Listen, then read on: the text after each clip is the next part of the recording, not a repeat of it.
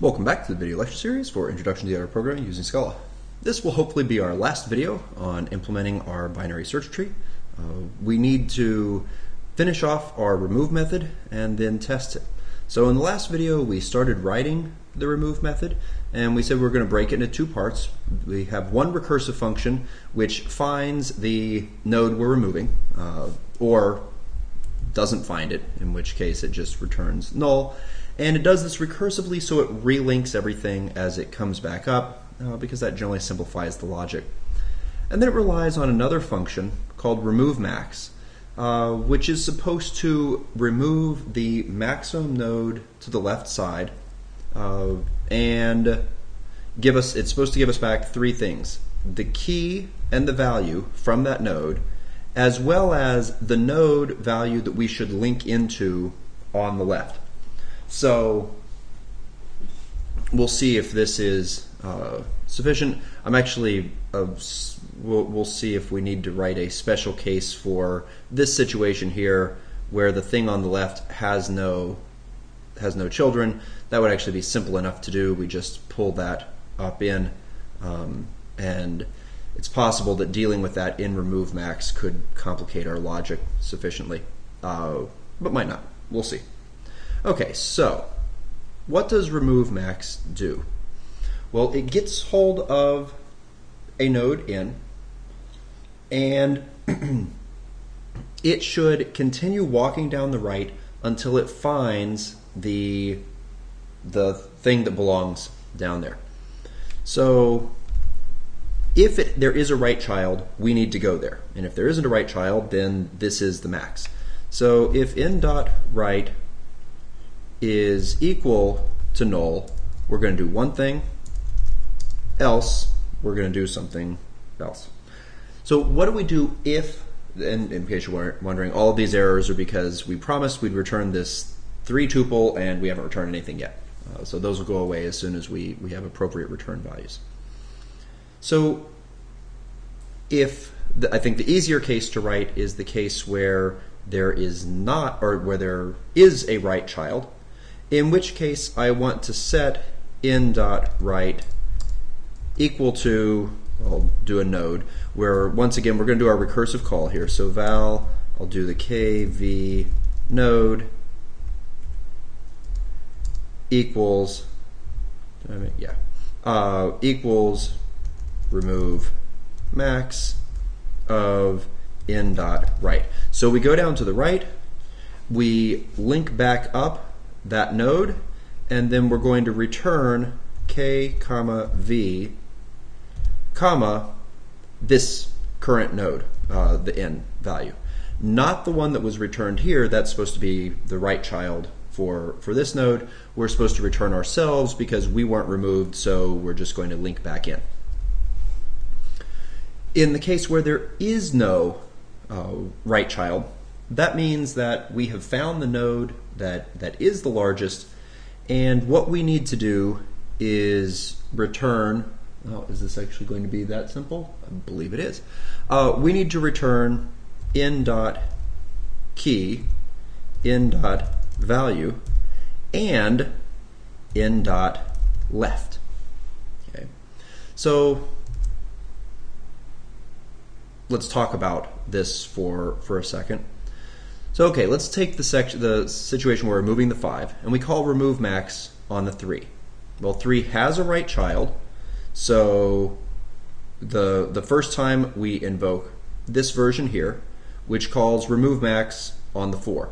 Four does not have a right child. So what does it do? Well, it remembers the four and whatever value is associated with the four, returns both of those as well as the left child, which is null. That left child gets passed back up to here, and on the call stack, that happens to be waiting, so that gets re- called returned back up to here. So we get the four, whatever data was associated with the four, and a null into here, into the node that was that had the three in it. So now the three's right is going to be set to null, and that's exactly what we want after after doing this, the 4 is going to, this node is going to go away, so 3's right should be set to null. And then we return the key and value, once again associated with the 4, as well as the 3 node. So it returns this node here along with the data that was associated with that, and that gets passed all the way back up to this call location. So then the 5's left is set to be 3, which is once again what we want. This should still continue pointing to that node. That's all fine. And then the value, the key for and the value for 4 are stored into the node that has the 5. So this there this is now a null pointer here and whatever data had been down here for the 4 is now at the 5 and we're done and everything's happy. So that's the situation where we're deleting a 5. What about the situation where we're deleting the 2? We want to make sure that this kind of edge case, because or we're deleting the 3, because the 2 has no right children, I want to make sure that this edge case makes sense. Uh, and possibly, if, even if there were a 1 here, we still want to make sure that it's, that it's happy, though these will be two slightly different situations. So what happens in that situation? Well, we'd call remove max and we'd pass it the 2 node. So that comes down here, we get the 2 node. The 2 node has no right. So it immediately returns back with the key, the value, and its left. Right now its left is null. If there were a 1, its left would be the 1. So we return back the data for the 2 and this pointer right over here. That goes back up, and we wind up resetting on this node, giving it a left pointer, which was equal to what this returns, so in this case null, that's what we want, and the 2's data goes into there. So that seems reasonable to me. So at least tracing through this, this appears to be something that would work. So now we need to test this. And so copy, we're going to say remove 5, uh, and then I'm going to write some others. So, how do we do this? Um, there are different ways that we could test this. Copy, paste. So after adding all of these, I want to do map minus equals 5 because that's, whoops, wrong, wrong function. I need to go down to this one. Okay. So map minus equals 5, and we uh, can then check. Now it should not find anything when we call get. Actually, for the 5, we should have a check here. Let's make sure this returns none. We technically haven't done that check previously. Uh, that was a deficiency in our testing. Uh, of course, we kind of knew that our tests weren't sufficient. But we want to make sure that everything that's in here previously is still found and the 5 is not found. It would also be nice if this iterator comes back and it gives us everything 2 through 8 with the exception of 5. So I want to filter for underscore not equal to 5 and then make sure that those are all in there. And we run the tests and they all pass because we talked about this being something of a special case, let's also do the remove 3 and I will do a remove 2. So when I do a remove 3, this case turns to none. And this is Some 5 and I want to filter off 3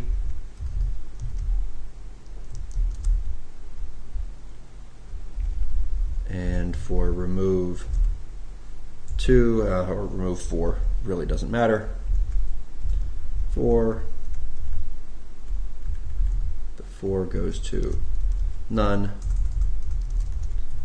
Some 5 and filter not equal to 4 so given that small tree those would have been our the things we want. Uh, num, but was Some 4 for remove 4. Oh, well, that would be a problem, wouldn't it? Uh, let's make sure that our test is written correctly. we add in all of our values, and then we remove the 4. And this says that when we called get on 4, we're still returning something. Uh, definitely problematic. Uh, wonder if that would happen when we return the 2. So, what happens in this situation where we remove the 4? We trace through the situation with 2, and in fact, let's go ahead and let's write the test for that just to make sure that remove 2 works. Copy, paste, remove 2, because we traced through that one and that one seemed to be fine.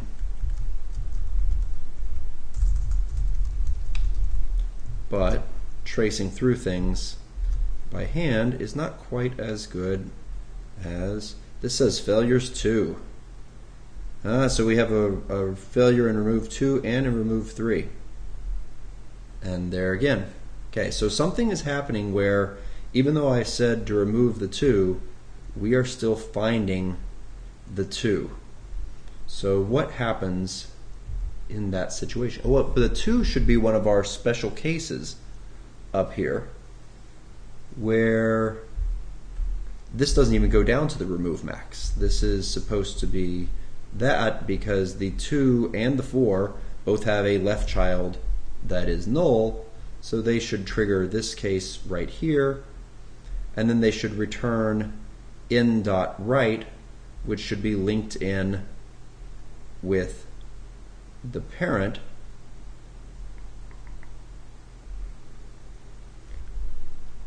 You know, now that I'm looking at this, we have, ah, here's the problem right here. I am over aggressively returning in for everything. And now we have errors because that shouldn't happen. Okay, so the in dot right and the in dot left are return values. I want to keep those. This one should return in, and this one should return in, and this one should return in, but I had it returning in down here, which was covering a few too many cases. So we run our tests again. Up, oh, now remove 4 passed, but remove 2 didn't.